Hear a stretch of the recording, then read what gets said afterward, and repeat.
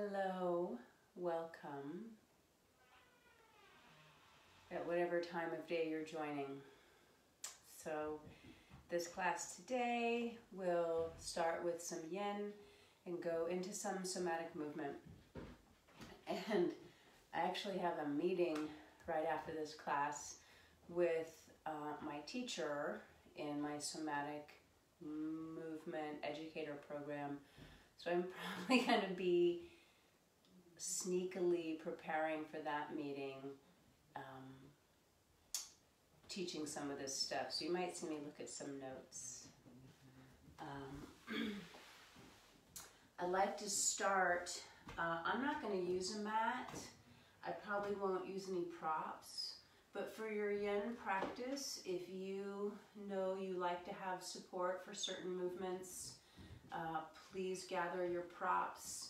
For yin, I recommend that people have around them simply what makes them feel comfortable and supported to just have props near, whether you use them or not.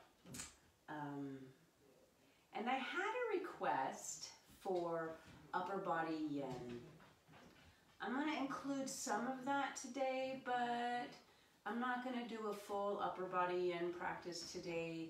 It affects, according to the lens of Oriental medicine, boy, you have to go lay down now. That's a good boy. According to the lens of Oriental medicine, the energies, the support systems in the upper body are different from the lower body. Upper body works with different organ pairs. So, um, I'll include a little bit of upper body. So Vicky, sorry, but it's coming. I'll do one for the upper body soon. Please start in child's pose.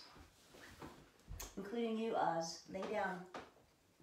Start in down dog if you're an actual dog. A laying down dog. Lay down. In your child's pose, you can have arms back or arms forward, knees together or knees apart. Let me grab my handy hourglass timer.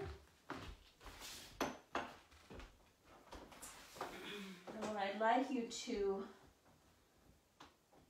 begin with so simple in theory so simple in concept. I mean, maybe, maybe for you it's a simple theoretical concept. This idea of letting go.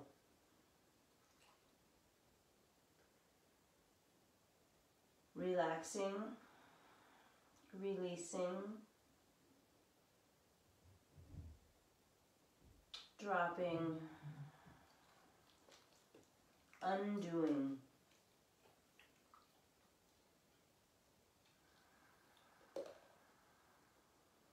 So if you feel like you have way more weight moving towards the head rather than the hips, you could stretch your arms forward.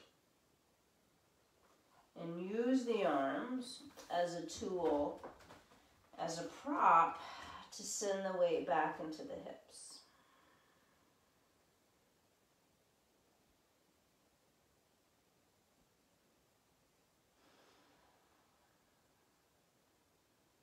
I'm going to be here for a few minutes. I started with my knees right under me. My legs are together-ish. I will, before we're done, let my knees go wider. So allow the body to melt and morph into gravity's embrace. Like whatever allows you to drop more.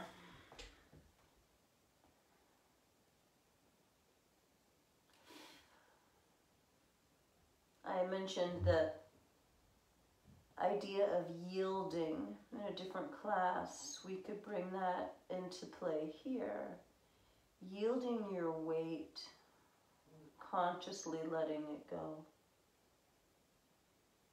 And this practice of consciously yielding, letting go, releasing, relaxing into gravity,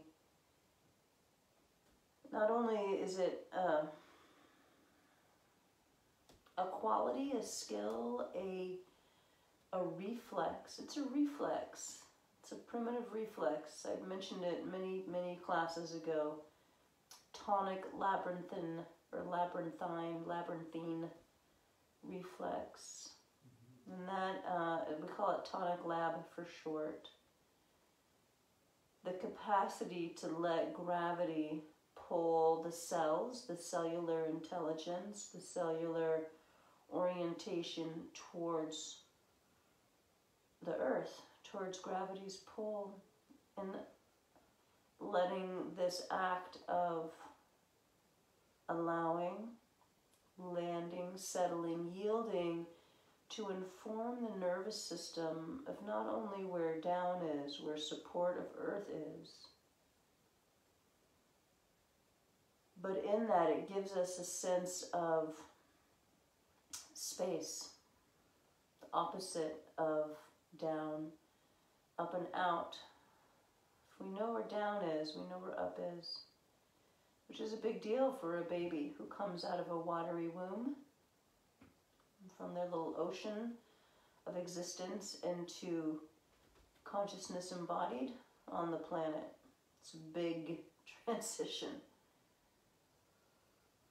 And we need a reference point, and here it is.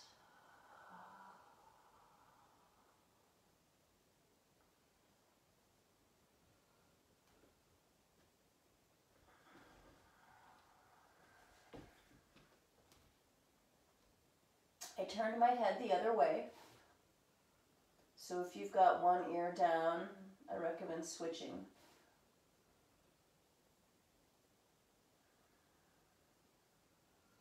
And let us never forget, let us never take for granted this constant, ongoing presence of support of the planet, of gravity, of presence of being, not doing, simply being.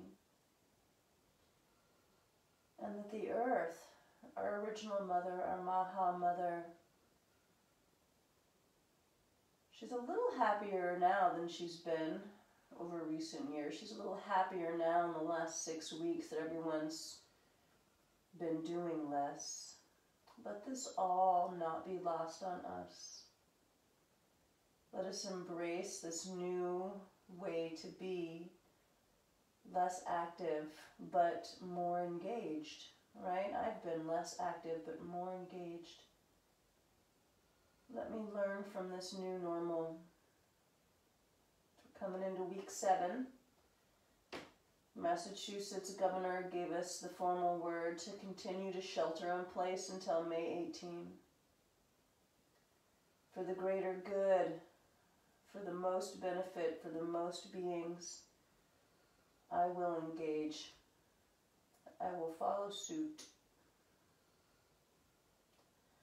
Not my will, thy will be done.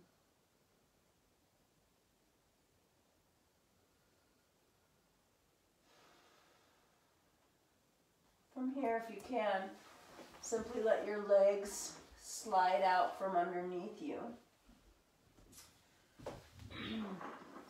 Stretch the arms long like Superman pose. Any movement of the hips, legs, body that you want. And let's come to lay on our backs with left side long. So if you sweep the legs to the right, and I like to put the longer side leg on the bottom. So I like to cross right ankle over left. You may have learned it another way, the left ankle on top would be the other way. And if you prefer that, keep it. I have my reasons for enjoying the longer leg on the bottom more. I feel like it gets uh, at my deep psoas muscle way more clearly. So I drop the lengthening side thigh bone if you have your reasons for a different setup, follow your instincts because the body knows. the soma knows. And then the upper torso can sweep to the right also. I like to take my right arm down by my side and left arm either overhead or hand behind the head. And if you look down to the right, then the left side neck can also open and breathe. And so tonic lab is still here. That that dropping, that calling of all the cell's attention to move down, and now down is behind us. So, intelligizing the back body, illuminating the back body with gravity's call. And so, if your left hip is light because you side bended to the right, then let that left hip bone, pelvic half, fall backwards. Same with left side ribs. If they're a little peeled up off the floor because of the extra length there, invite them to fall back.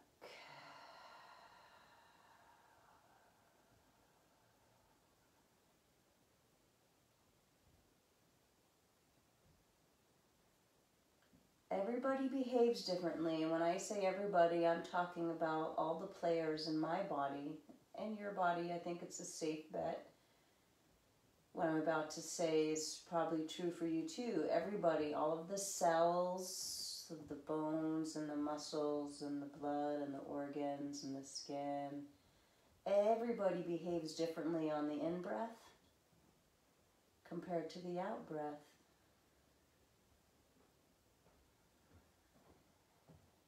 On the inhale, there's a lot more tension. Things tend to hold on a little bit more. They get a little bit more engaged. And with the exhales, the active tension releases. And there's a, a settling which creates a spreading, a relaxing.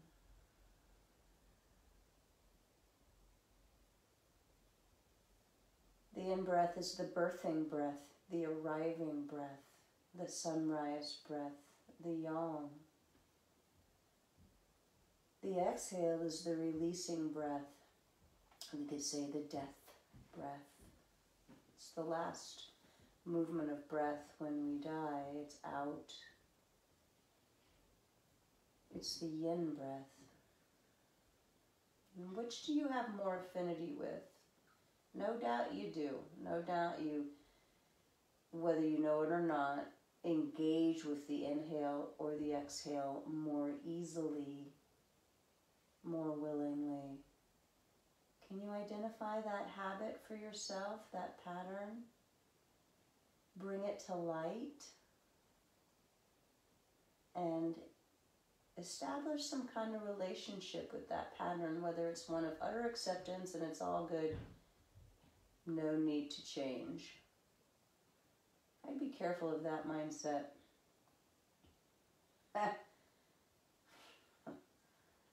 uh, someone just came to mind. Um, someone we all know, and most people I know don't love him. You could engage with that habit of preferred breath by tweaking, or tweaking, sure, but reversing, turning it on its head. And that means go into the part of the breath that you don't normally linger in. For me, it's the exhales. I need more time with my exhales. Inhales are easy, I'm almost caught there. And I've been working with it for a while, so I've got good access to the exhales. It's just not my usual place to spend time in. So I have to do it on purpose.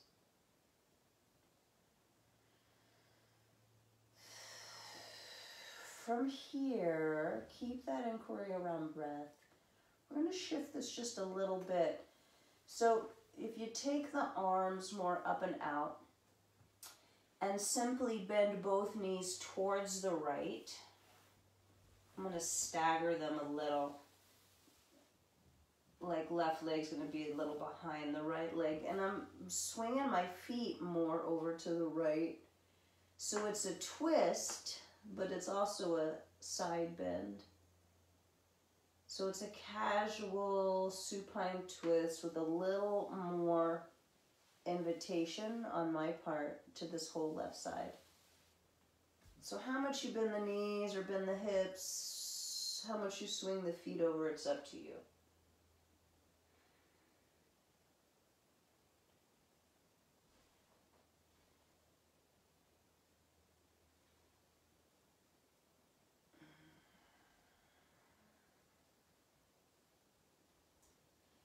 Whether you orient the nose to point up or to the right or to the left, follow the messages, right? So the body is in conversation with itself all the time.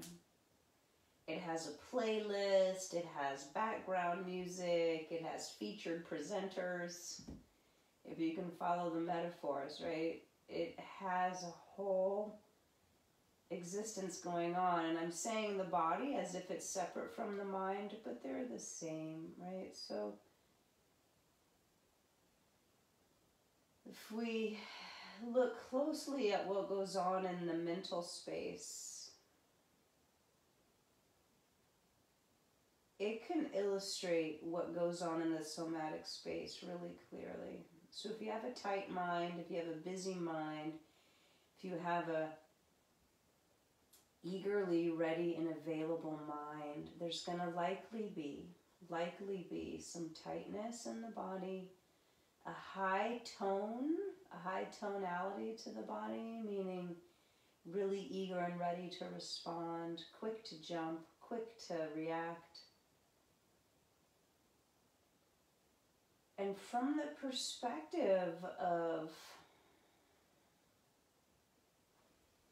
physiology, kinesiology, neurology, immunology, the study of all these systems, that hyper readiness to respond isn't better than a more lackluster, slow, delayed response. That's also not worse nor better.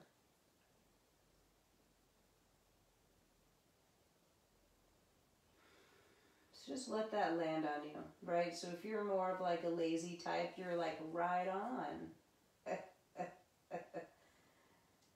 if you're a super go getter, you might be like, wait a minute. so just check. Check your response to that suggestion. You don't have to believe me, go look it up for yourself.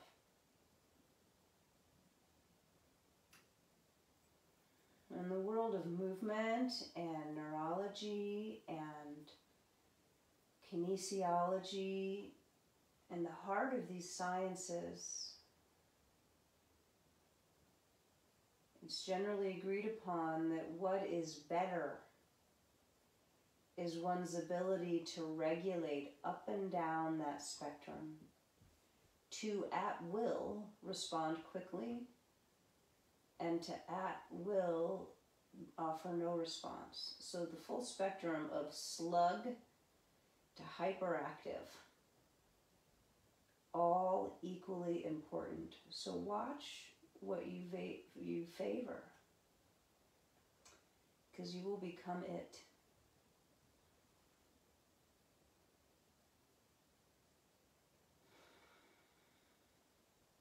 And if you go down that road for too long, too many years, too many decades, it's harder, much harder to downregulate or to upregulate when you've been inhabiting the same small spectrum of engagement. I'm in for full spectrum practice. Before teaching this class, I pardon me, sat quietly in meditation for a half hour.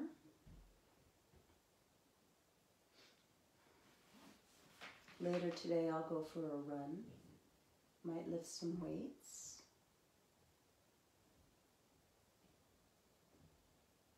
So, what's your spectrum? How full is your spectrum of engagement? From here, stretch the right arm long. Come to roll onto your right side. If your right arm lets you use your head as a pillow, and then lengthen left hip. So extending left hip, placing left knee straight down from your hip. I've got my knees bent. You can have more of a straight leg, left leg. The bent knee lets my knee actually drop more to the floor versus if my leg was straight. And for me, in my hips and my shape, it invites a lovely spreading, opening here of the left side, as well as a offering of release in the front of the hip. Not everyone's hips are built the same way, so this might actually be uncomfortable and create some compression in the inner leg. Don't don't just tolerate weirdness. I mean, some amount of discomfort, yeah. But check what it's about. If you're like a bone on bone kind of compression, I personally don't recommend hanging out there. You could put a little pad or a little bolster or a little block or something to get some distance, a hair's width distance between the bones. Bone on soft tissue, soft tissue on soft tissue, great, fine. But bone on bone, then we're asking for those bones to sort of be stimulated by each other, and that can be long term not what we want.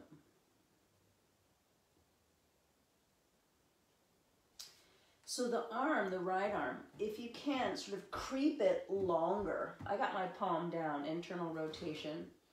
So the whole outer edge of my armpit's on the floor. inviting more spread and space under the armpit and between the shoulder blade and the ribs, as well as between the ribs.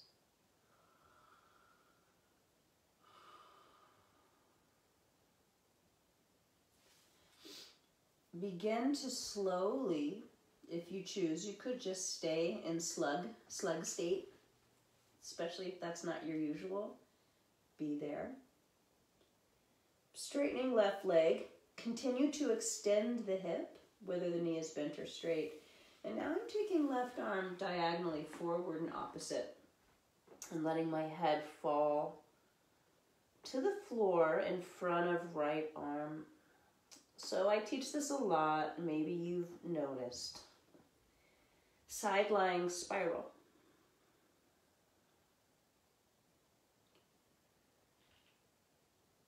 Left side is spiraling over across the line of the right side.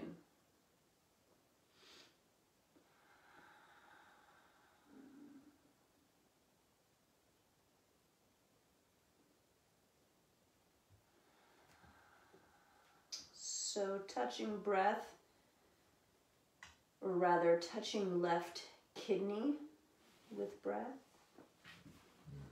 Left kidney lives somewhere to the left of your spine, mid back, just under or in front of your lowest ribs.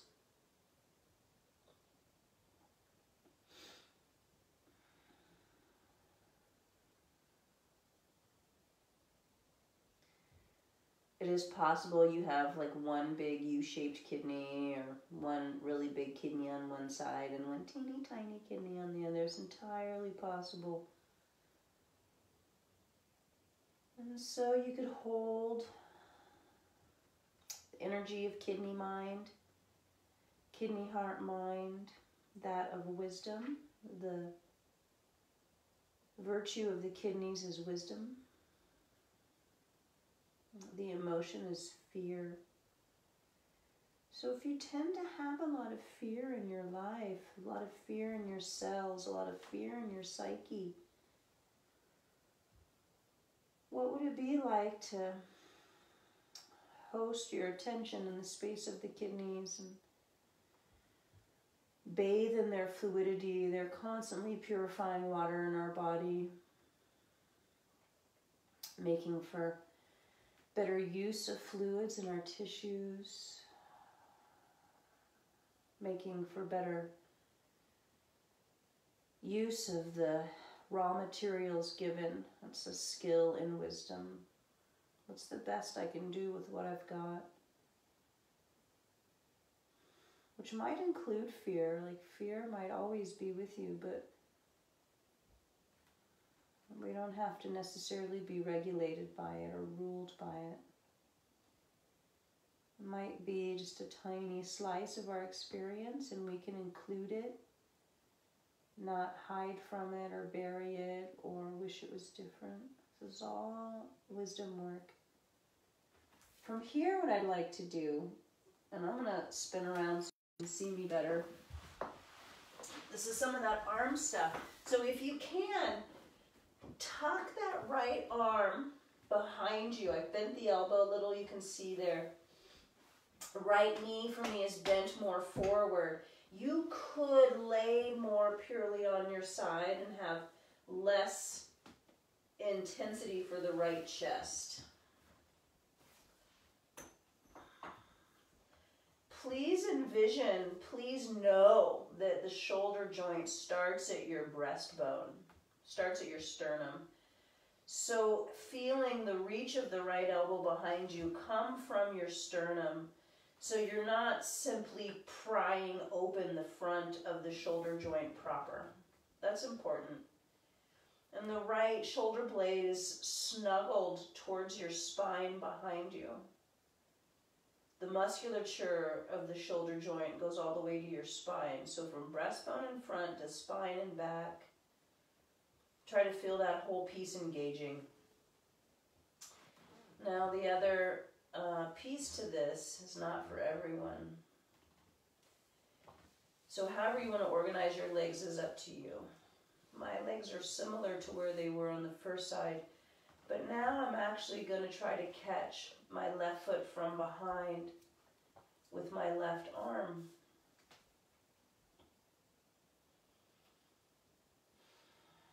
So I've got a lot for both shoulders I've got a fair amount from my left thigh.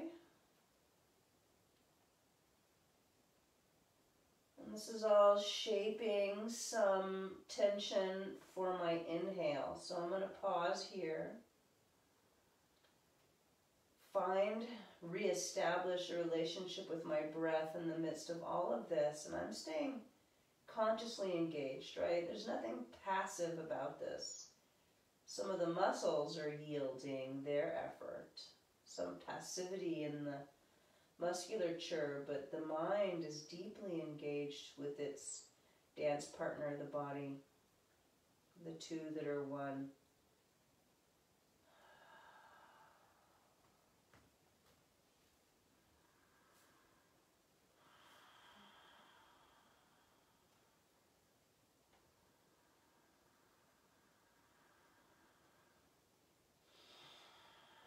The right hand, palm, fingers could actually press into the floor some. Right? So you can add some engagement there and play with turning on and off some of those fibers depending on how intense the tension is, the tug, the pull. So you can push back into it a little bit. Let that part of your body know, like I'm here, I got you, we're in this together. Relax a little. Same with my left leg. I'm going to kick a little into the hand. Tiny, tiny effort. Feel the response, the results. I'm going to exhale, let it go. So please don't check out. Keep checking in and in and in and in.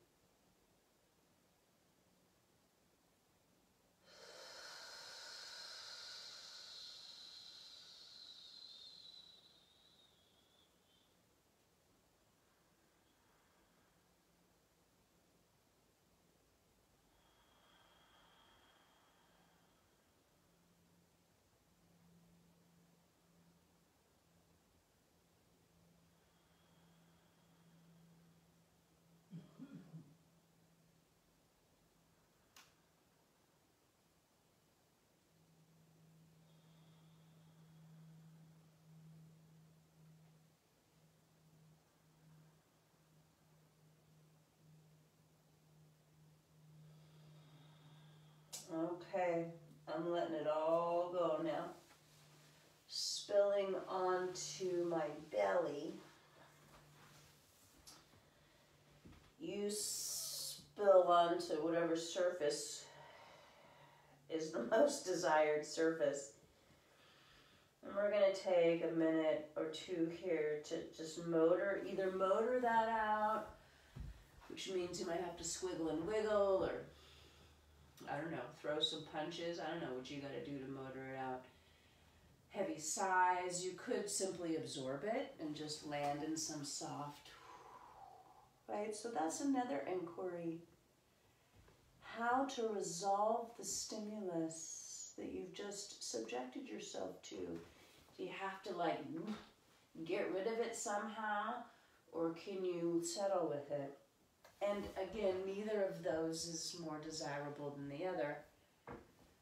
Knowing what you need is most important, and allowing the nervous system to resolve in the preferred way. It's happening all the time with all of our stimulus.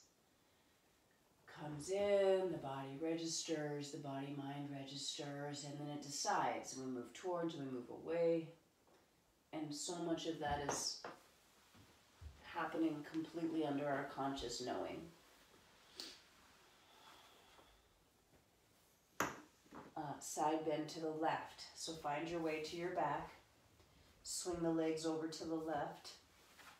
If you're like me in this regard, left ankle's on top. Torso side bending to the left. Left arm down by your side right arm either overhead or hand behind head. Tonic lab, let the weight of the back body settle.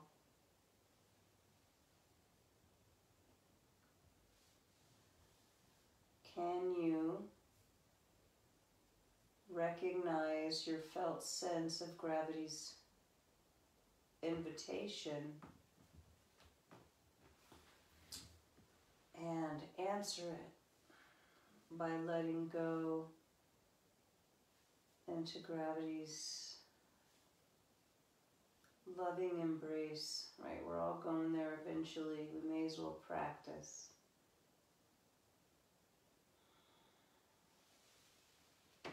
One of my teachers says Ayurveda is the study of life and yoga is the study of death. Ayurveda is the study of living well. And yoga is the study of letting go. And sometimes it's so paradoxical. Letting go might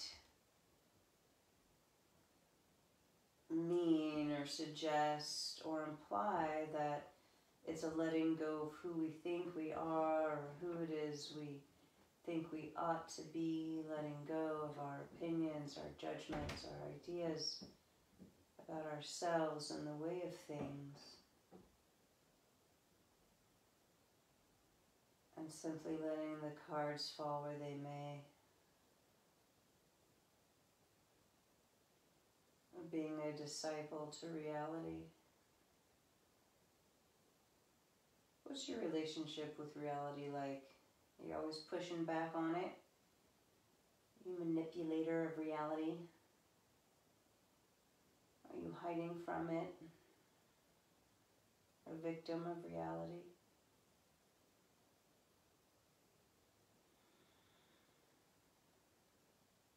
Or a fugitive of reality? And maybe if we hide from it, then we're, we're more victims. What about a, a dance partner with reality? That's what I'm going for. It's like I hear the song she's playing. I want to dance no matter what.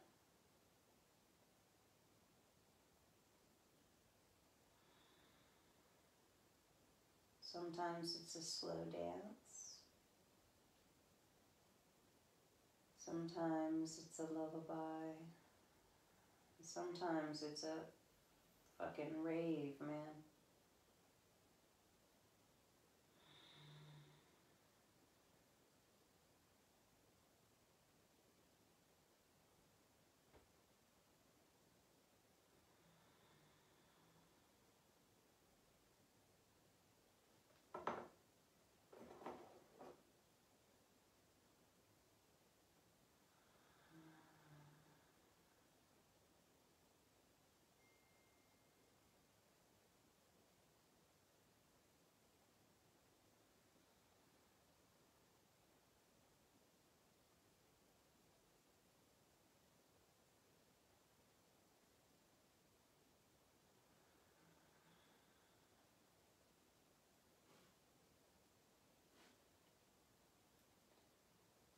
Here, more of the arms out to the side. Bend the two knees, tip them to the left. However far you want to shoot the feet over to the left or have the knees and the hips bent. So we've turned the pure side bend into more of a twist.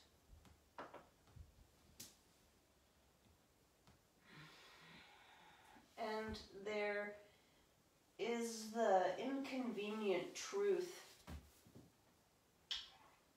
or maybe it's convenient, depends on your perspective. There's this simple truth that we all have some torques and twists in our structure, that we all have a little bit or a lot of scoliosis. And some of that came online in utero, some of that came online in childhood. There's no clear medical explanation for scoliosis. The going theory is it's largely emotional, psychosomatic, or could be just the long nine month yin pose in gesta- gestation. We're, we're sort of caught in that. So these side bendy, twisty shapes can feel very, very, very different from right to left, and that is 100% okay because it gives you a chance. First of all, it's informing you, it's telling you. Body's like, hey, this is what's up. And so then that wisdom mind, that ready practitioner, meets the reality of the situation and responds skillfully. So don't try to force left side and right side to have the same experience. But can you meet the realities, the truth of each side as they present so that some sort of balance can be achieved? Hmm. I wonder if we could get the Democrats and the Republicans to do that. Right? It's like it's the same concept everywhere. Here's what's happening. How can we meet it to bring the most good for the most beings? Oh, right, not everyone in Congress wants the most good for the most beings. They want the most good for themselves. Sorry. Sorry, I'm politicizing. I'll stop, but it doesn't make it untrue.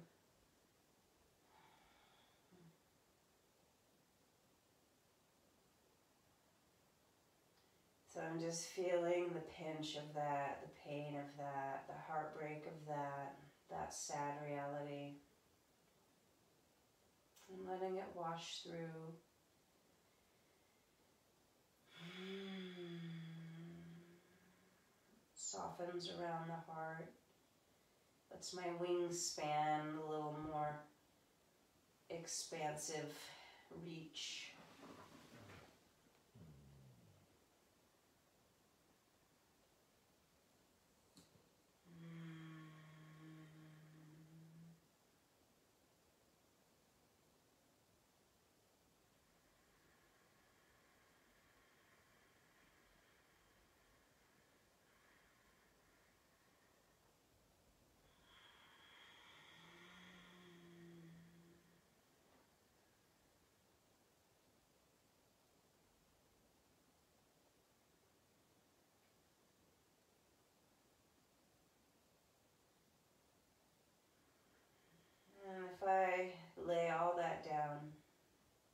I lay all that down, all the pain and the bullshit from the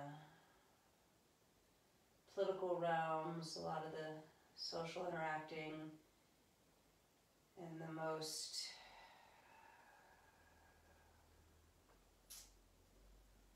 um, the spaces filled with the most conflict. If I let all that go, there's a warming and a melting through all my tissues, and I, I get a little weepy, tears flowing, just a little soft release of holding. So let's bring that, whatever you got, I'm bringing that onto the left side. Stretch left arm a lot longer further under you.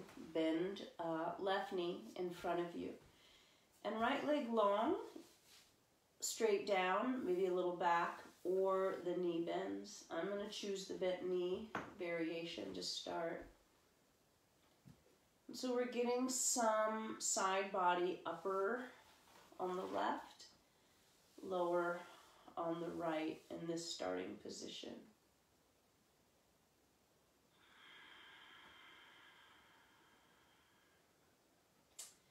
At the end of this little sequence, we're going to be in a shape, in theory, we'll be in a shape very close to this. So we're, we're touching this now, sort of priming, priming the body, priming the tissues. And I'm trying to breathe into the length on the lower right torso as well as the length in the upper left torso. So it's like a diagonal a moving breath, upper left to lower right. And then these places of compression, upper right ribs are much more squeezed together for me. And the left side waist is really squeezed together. So now I'm going to feel into that diagonal with breath, upper right to lower left.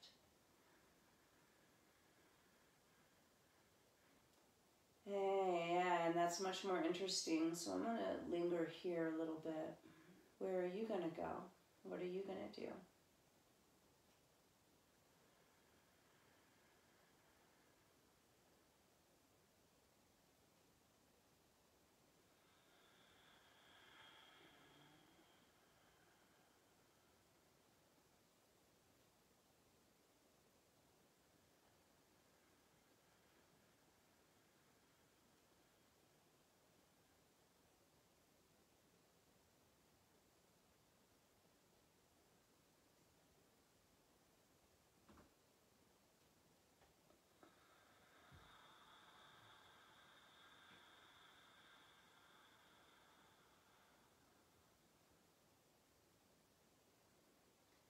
Next week, when I start Zoom classes, I'll actually be able to hear you and see you.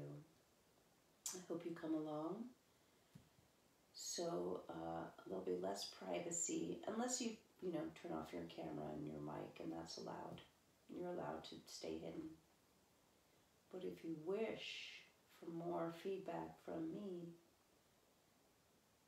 that new format will provide it. Starts Monday. Reach out if you want to be included.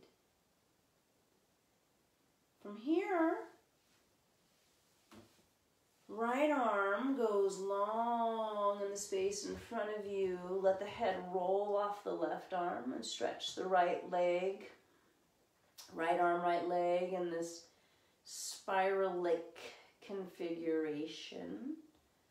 Sort of teetering or perched on the left side. So like right side spiraling over the fulcrum of the torso. So like you could let the leg win, a little more reachy with the leg.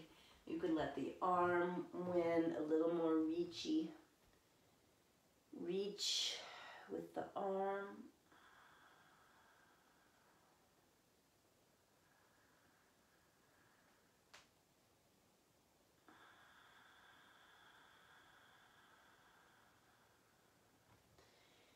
And what if we started to plant the seeds here regarding that left shoulder?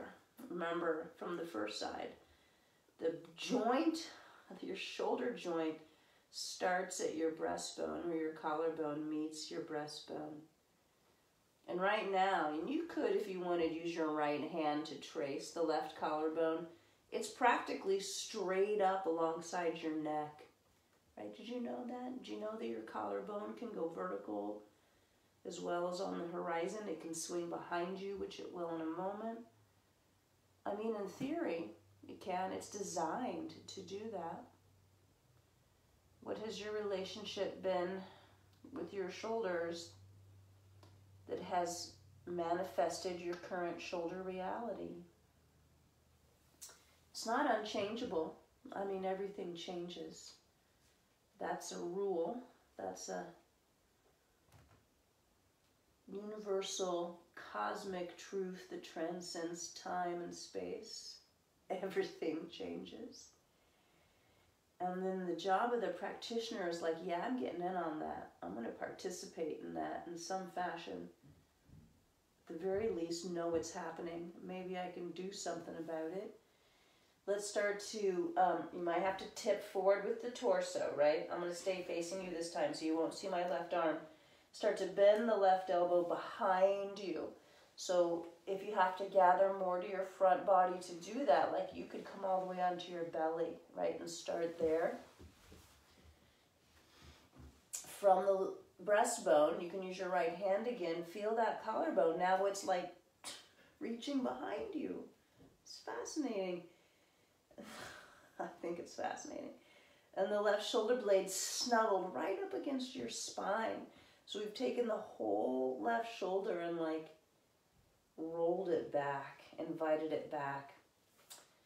Uh, right hand can be in front of you for support or hand on hip. I'm to catch my right foot and go for that. It's a pretty epic yin pose? It's, it's uh, involved, but I've been doing this a while, so it's not a big deal for me. You might notice that I'm using my left heel. I've sort of got my left foot active here, and I'm trying to keep my right knee behind me.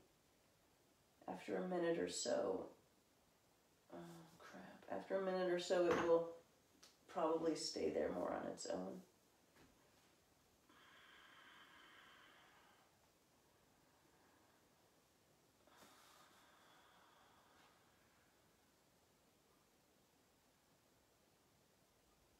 So now the trajectory of breath that I'm interested in right low belly or front of right thigh to left chest. In the front body, that spread, that's the most spread out pathway. Front of right hip to front of left chest.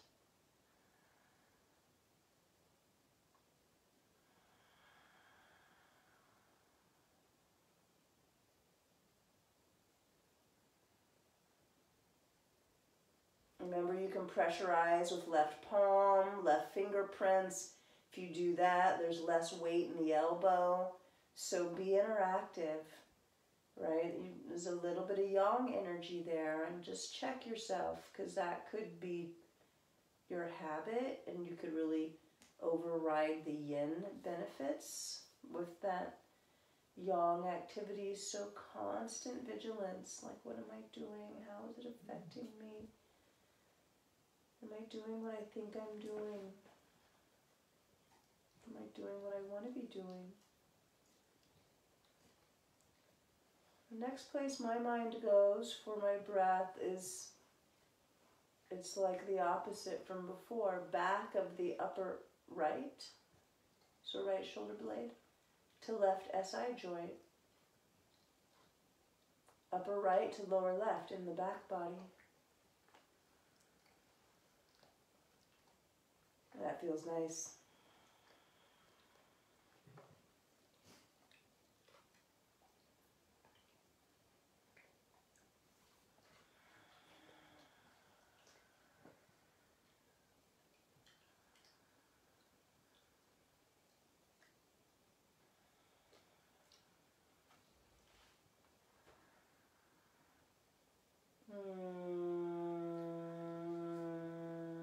Feel free to make sounds. I can't.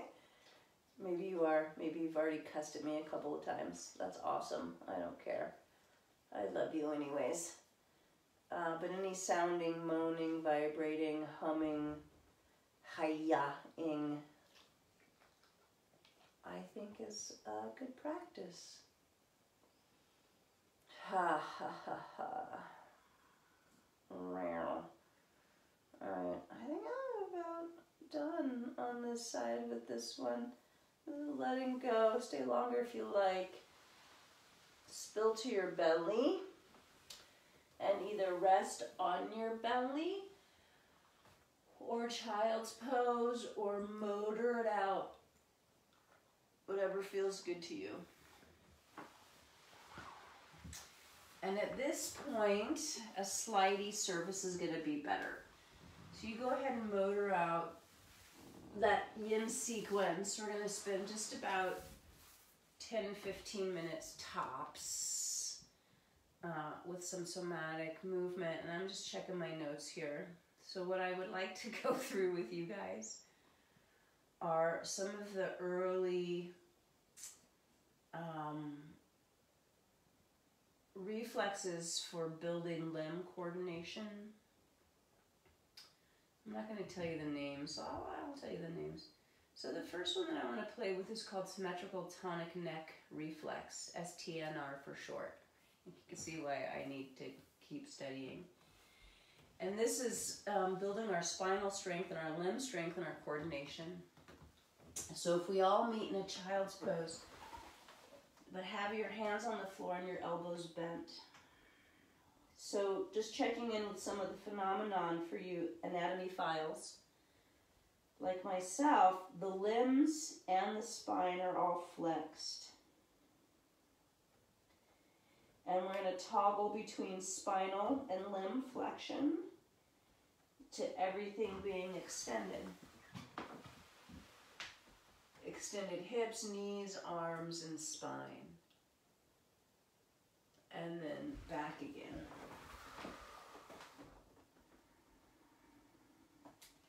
And extend again. So depending on your back, you might have your arms way out in front of you, like I'm showing.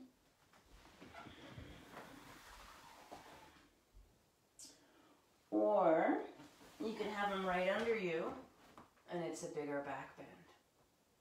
So let's do this a few more times. Slower or faster. I vote slower.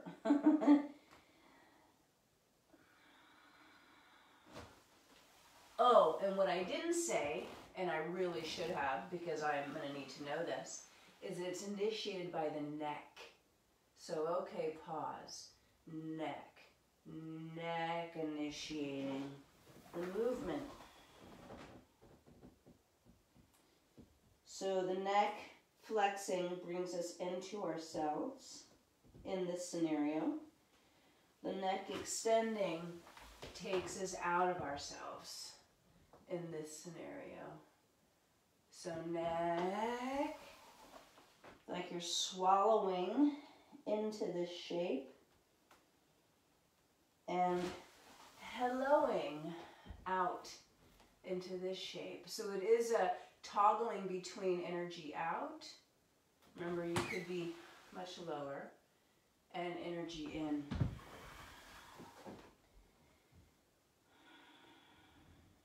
So pause and either the extended limbs and spine or the flexed limbs and spine.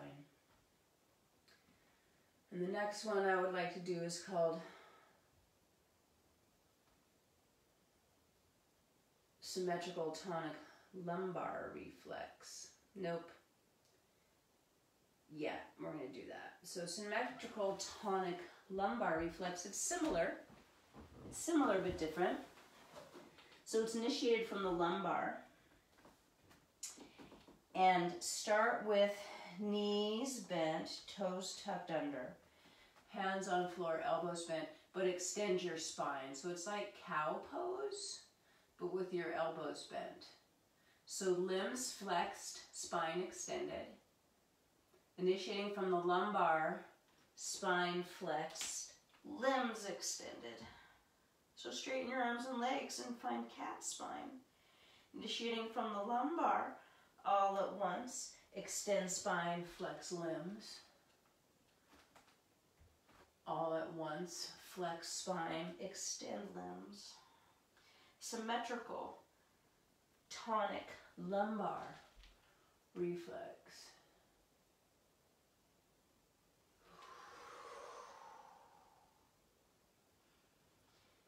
There's a way you can do this uh, much less strongly. In fact, babies do it the other the one I'm about to show you before they do this one, and you'll see why. So it's either uh, if you come to belly down, limbs flex, spine extended, initiated from the lumbar, spine flex, limbs extended. So really lifting my belly up from the lumbar. Flex the limbs, extend the spine. So it's sort of like knees, chest, chin in yoga, with the exception that chin is up. And then really gather the belly and stretch your limbs long. Face is down, pubic bone is down. It's like cat pose, face plant style. I'm gonna go back to the first version. Cow with bent arms and like down dog with rounded spine. Okay, pause and rest. Pause and rest. Two more. I'm gonna put a blanket under my knees. Um, injured my kneecap last winter. That's not quite right when I put weight on it. I hit a place that feels owie. and sometimes the blanket doesn't help. Wowie. Okay, so this next one is called symmetrical tonic neck reflex. Uh, and oh, never mind, we did that one. and then, um, yeah, that's it. So let's just pause. Pause and rub your knees if you need to. So having done that stuff down the middle, let's do some side to side stuff. And for the side to side stuff, start in your Sphinx pose. And I'm gonna slide my elbows on the blanket. Or keep my elbows on the blanket to slide. And then if you put your brain in your head and tail lengthwise, and you side bend on the side bend to the left and bring that left knee up and out. This actually feels quite good. And going to the other side. So side bending to the other side and bringing that knee up and out. And simply go back and forth. Now there's a lot to ask of the hips and the spine. So hopefully the previous movements including the yin, has warmed up the joint spaces so you can get a lot of that inner thigh to the floor of the bent leg. And it's a clear sense of the tail swinging towards the bent leg. So movement in the lumbar, movement in the whole spine.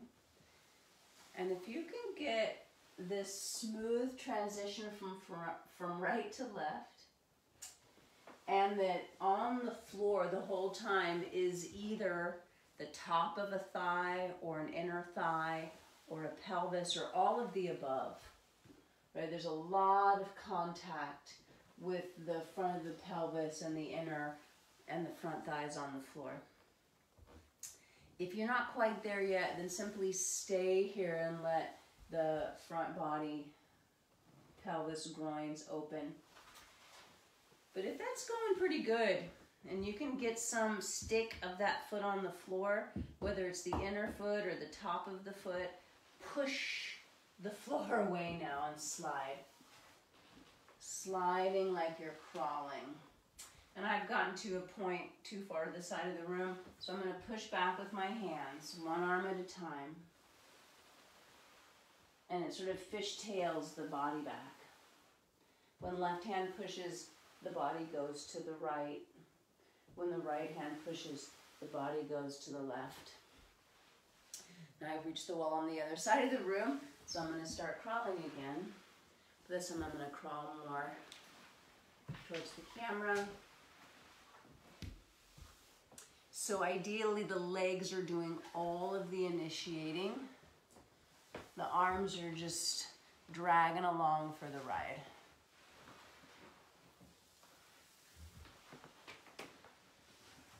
Next time you reach the end of the room or the end of your space, then just push back with your arms. It's called homologous movement of the upper. And the crawling is homologous movement of the lower. So one more time, but we're gonna add a pause. So the next time one knee comes up, pause and roll to that side. This is actually a reflex. When a baby gets to this point, that's a significant um, indicator there's this either des- desire or a response to some sort of stimulus that was maybe behind them. Other side, like you're going to crawl, but nope, let's pause and look around. So in this way, we're getting a 360 degree view of the whole room of caregivers behind us or loved ones on the other side of the room. And still keeping with that side bendy business. Can we keep going and like a little boat as you roll and go to the other side? and then looking around and rolling back. So it's like the side lying position to a boat and then back again. I'm actually going to keep going the same direction.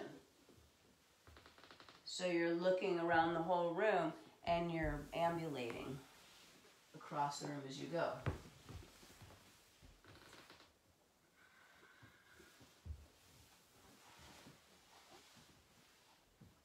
I really like it. And then back again.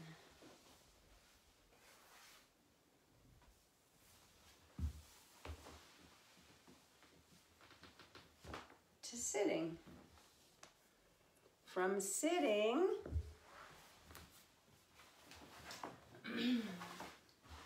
you place one hand behind and extend that same leg forward and switch. So I got right hand down, right leg extended. Switch, left hand behind, left leg forward. Goodness gracious, can you go lay down? Ozzy, go lay down. Hmm, we're just gonna go back and forth in this way. Right arm behind, right arm long, left arm behind, left leg long. We go. And then back again, and again, and again, and again. Can we look forward when we do it now? Look forward, look forward, look forward. Pause here with right arm back, switch legs. So right knee is bent, right arm is back, look backward. Now left arm back, left knee bent, look backward. Switching. Next time, right arm is back, right knee is back. Tip to the right side. Step your left foot forward. Lower your hips. Wrap, spin back around to your original facing. Left arm back, left knee bent. Step right foot around. And go back and forth in this way.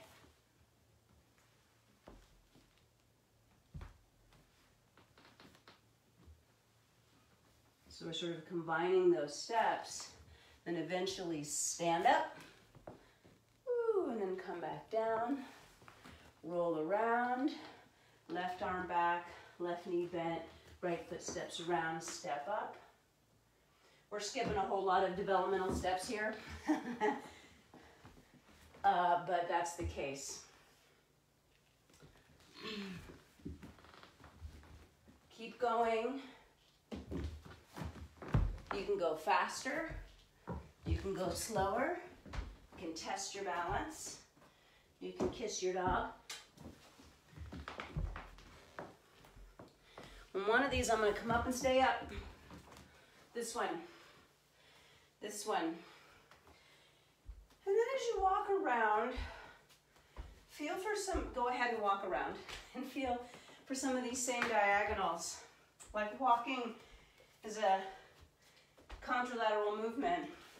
Right leg forward, left arm forward. Left leg, right arm forward. Right, so there's this diagonal, diagonality through the parts of the torso that we were breathing into on some of those side lying things. So simply walk around your space, swish your hips, swing your arms, be a little sassy. Don't worry if you're classy.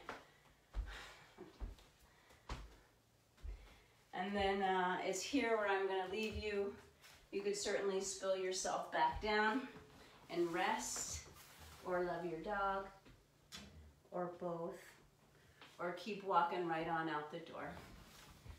Please keep feeling and studying and responding, stimulus and response. And may you be well and in good health, both body, mind, heart. Thank you. I love you.